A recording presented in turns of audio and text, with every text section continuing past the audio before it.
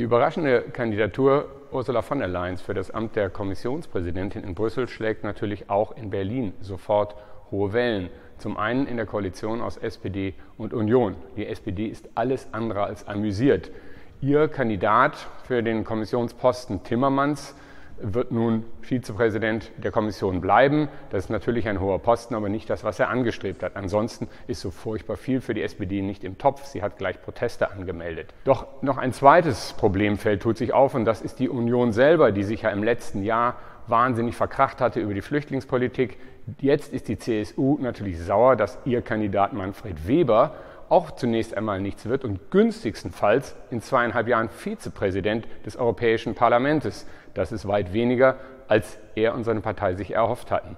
Aber auch die Kandidatin selbst wird vorsichtig sein beim Jubeln, denn sie kann nicht vergessen haben, dass sie ja schon einmal fast etwas ganz Großes geworden wäre, nämlich Bundespräsidentin nach dem Rücktritt von Horst Köhler. Und damals hatte sie sich eingebildet, Angela Merkel wolle, dass sie das Amt übernehme. Bekanntlich hat Merkel das nicht gewollt, bekanntlich ist von der Leyen es nicht geworden.